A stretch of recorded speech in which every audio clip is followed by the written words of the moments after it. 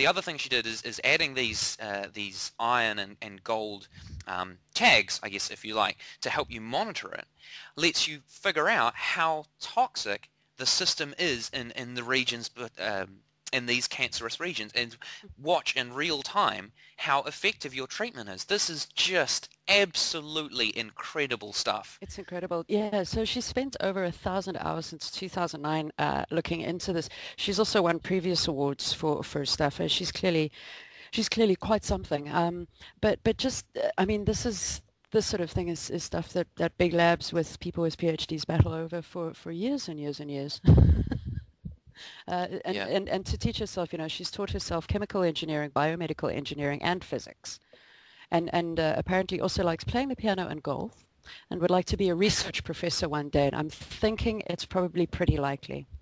Yeah, uh, I don't. I don't think that she's going to be at Starbucks for an extended period of time. but yes, so clever, and it does make so much sense. You know, target the stem cells, target the, the root of the matter, as opposed to, you know, the, the what's coming from it we'll, we'll be watching her with a great amount of interest, as I'm sure are, are large parts of the world. Indeed. All right, and um, right, the, so the next bit that, that you guys will hear is is Elf getting to chat with a bunch of our bloggers on Thursday. Um, I was not able to be there, but but he did a, a just a fantastic job of chatting with them. So um, yeah, uh, take it away, Elf. So uh, uh, before we before we cut to the clip, we should also apologise for the background noise. Oh, yeah. We uh, we managed to entice them to come and meet us by holding our meeting and recording session at a local pub in Wellington. So uh, forgive the background noise. okay, so just um, going around, if we could each introduce ourselves. So I'm Elf. I'm one of the hosts of the official Sciblogs podcast, and uh, we decided to have a wee bit of a roundtable because a few of the Scibloggers are actually in Wellington at the moment. So my name is Peter Griffin. I'm the editor of Sciblogs and the manager of the Science Media Centre. And I'm Ken Atkinson. I'm a former journalist uh, working at the uh, Science Media Centre at the moment. Uh, I'm John Kerr, and guess what? I work at the Science Media Centre as well. I'm Ken Kerr. I don't work on the Tide, but I, my blog is Open Parachute, which I've been going for about uh, five years now. And my name is Shaun Hendy, and, and um, oh, I've been blogging for a couple of years now um, under a blog called A Measure of Science. All right. Well, without further ado, let's get on to some of these awkward questions that are going to put people in strange, uh, strange positions. So, uh, it's often said that New Zealand science is forced because of our small size um, for funding to pick winners. I want to know what you guys think of this strategy and which winning technologies you guys would pick to invest in. I, would better kick off on this. So I've written a couple of blog posts on it. Well, you know, we've been picking winners for a long time, right? I mean, and, and the argument is that you know we're good at agriculture, we're good at growing things, we're good at growing plants, we're to be growing animals, and we you know we sell these things offshore. And um, actually, it, you know, it turns out that that's a, that's a bit of a you know, a bit of a cul-de-sac. Right? You, you, you, can only get so good at, at, doing these things, and then you start to hit sort of natural resource constraints. Um, and actually, you know, we've got to start doing new things. And I think I think that's one of the things that's constrained our thinking. An example I like to think of is. Um, uh, uh, is, is, Icebreaker, right? So Icebreaker is a, you know, it's, it's, a, it's a success, right? A lot of people talk it up. It's got very clever marketing behind it. It's done really well. Um, it's based on merino wool. Um, but actually, you know, it turns out that, that Gore-Tex was actually invented in New Zealand. Um, Gore-Tex is manufactured, you know, it's, it's, it's an American product. Um, the markets are the same, right? If you own a piece of Gore-Tex, you've probably got a piece of Icebreaker as well. Um, you know, why is it that Americans feel they can sell something made made from uh, polymer, from a plastic material, um, whereas we only think we can sell something made from merino wool? I mean, I think it's really interesting that our mindset says that we can't do one when we can do the other, when the, the markets are eventually the same. Yeah. But who picks who picks the uh, the winners because you've had New Zealand Science uh, uh, reorganised uh, a couple of times since the mid 80s, uh, largely to uh, avoid politicians picking their favourites uh, is the thing to be funded with taxpayer money. I actually, look, I think it's all of us, right? I think we, as a country, we have a mindset that, that our economy is based on natural resources. I, you know, I don't think it's any particular person. You know, it's not the government Um, it's not the CRIs, it's not the universities or the public. We all think this way, and we think if we're going to be make a success of something, it better be based on our natural resources. Yeah. And actually, you know, when we've had a good idea, you know, like I said with Gore-Tex, that was that was you know developed in New Zealand. Um, the, the manufacturing process to make that, you know, why didn't that take off as a business in New Zealand, Yeah. whereas Icebreaker has? You know, the markets are identical. Yeah. Now we, we decided uh, several years ago to focus on some key areas in New Zealand. We went with biotech, we went with IT, we went with creative. We've had some success, particularly in the creative space, with thanks to Peter Jackson, really. And others not so much. And we've made actual direct loans and that to, to IT companies that haven't really paid off. And that, I think that shows the danger of actually focusing really specifically on types of technologies and areas to invest in, where it really should be more of a um, uh, industry uh, or, or wide focus, uh, so that you can actually create an environment where all sorts of different technologies uh, flourish. I, I think a lot of those efforts have been, but you know, people have made the argument that you actually need you need some scale to start with. Right? So we- we- although we've said yes, we need to move from shipping commodities to um, more advanced products. Right? We've always the talk is always about actually turning those commodities into more advanced products. That's Whereas, right. you know, the reality is that, that a lot of you know high value products don't come from commodities. Right? You know, they're, they're not they're not based on natural resources. They're, they're, you know, Silicon Valley is not based on amount of silicon um, in the San Francisco Bay Area. It's based on, on knowledge and thinking. And I think that's what we've failed to do in New Zealand. As a question of how we as a people think in New Zealand, and we need to change the way we think away from some of these primary resources. How do, how do you do that?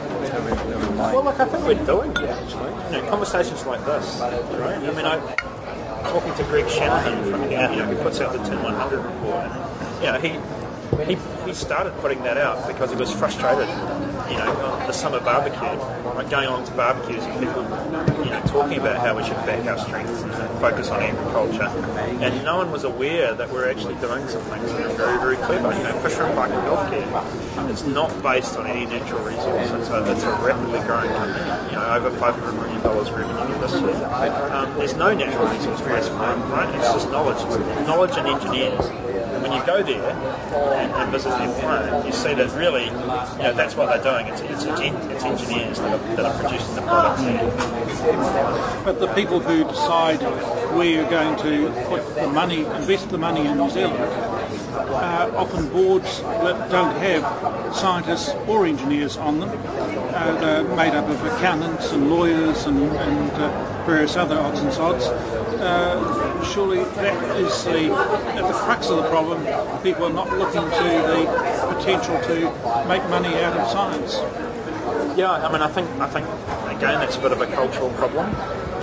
Um, yeah, you know, definitely we need we need scientists to be more entrepreneurial. I mean, they need to be looking for opportunities to exploit the knowledge that they've made. That's that's not to say that every scientist has to be that way, but we you know we just definitely need to have a culture um, of entrepreneurship scientists Yeah. and a willingness to get involved in business. The, the, the, the one good thing we're seeing in New Zealand, and it's just been a matter of time really, is, is scientists and technologists and that who've made money, they've sold out of their companies. You look at Rod Drury who sold Xero, you got people like Paul Callaghan, you got Sam Morgan who made a lot of money out of the sale of Trade Me is now investing in science and technology ventures and that.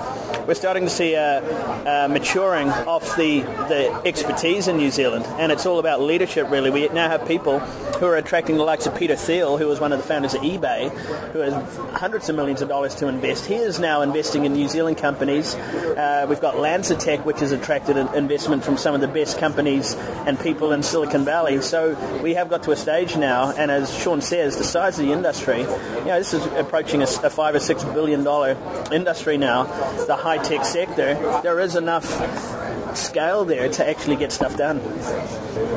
Okay, cool. So I'm hearing hearing uh, lots of good things about not picking the obvious winners. So going back to the last part of that question, which winners would you pick if you were forced to? Why, why should you have to pick winners? I think part of the problem has been in the past that people have picked winners. They've talked about biotechnology and then the next fashion. We've had, well, from my perspective, it's been um, almost an ideologically driven leadership, particularly in the CRIs, where the CEO gets a particular thing in his or her head about what the next thing is, and then when they when they're replaced, there's another new thing, you know. And and I, I either suspect that because there's a picking of winners, that all the diversity that occurs for individual scientists is ignored, you know. And people are chat, they're attempted to there's an attempt to channel people into what's seen as the winner, when in fact perhaps we should listen to the scientists and, and promote their ideas, even if they're not seen as winners at the moment. So the, the, the problem, sure, is that if you concentrate on picking winners, where is the money to go into the, the basic science, which is going to provide the fundamentals for finding future winners in the future? Uh, well, future winners at some point. Uh, you're going to have to spread your money, you need to spread your investment so that you're not only choosing things that can be, where science can be brought into the wider economy and benefit everyone, you've still got to have people out there doing the, the basic science that's going to provide the, the, the platform on which everything in the future will be based. And if you favour one over the other, there's a disconnect and, and, and you lose your science sector. I mean, the challenge for a country like New Zealand is, you know, of course, we often don't capture the benefit from our own basic science. Right? That's the argument that's made that it's, it's, you know, yes, we do good science, but then a lot of that gets exploited offshore, whereas the applied science is the stuff that we keep here because we've got that knowledge. But I, you know, I think that's a bit, you know, so I can understand that argument. But actually, really, when you, you know, when you're talking to young people going into science and you know, where people learn their skills in science, it's those basic questions that really motivate people. Know, it's that basic knowledge. That's why that's why kids go into science. That's why young people go into science. So if you do let that that basic science drop away because you're being pragmatic and because you just don't, you know, a very simple cost benefit analysis, yeah, I think you lose that motivation for doing science in the first place.